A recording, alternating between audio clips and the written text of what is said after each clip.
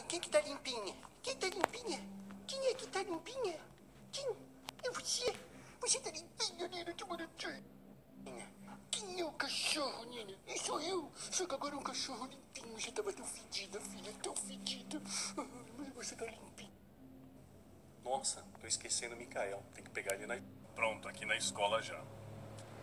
Só para reforçar aquilo que eu já tenho falado da eleição americana, quem ganhar, eles ganham.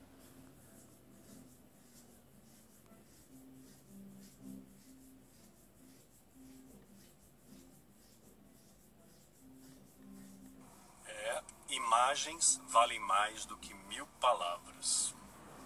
Bicho vai pegar. Prepare-se para o impacto. Olha só. A gente. Ai, ai.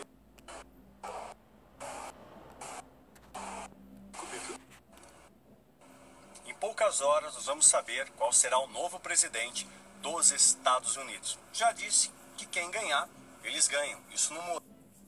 Mas esse presidente ou presidenta né, terá uma missão: trazer paz em Israel para que o templo seja reconstruído. Isso pelo calendário do satanismo, tá bom?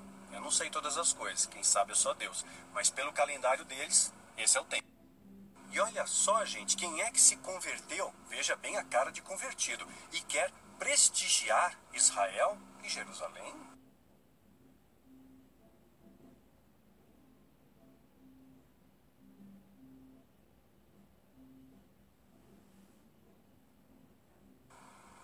Ser bons observadores, né? O povo manda uma série de coisas para mim, eu acabo sendo catalisador de informações e eu sempre vou partilhar com vocês. Afinal de contas, eu sempre tenho procurado prestigiar aqueles que nos prestigiam, especialmente você que nos acompanha no Snapchat.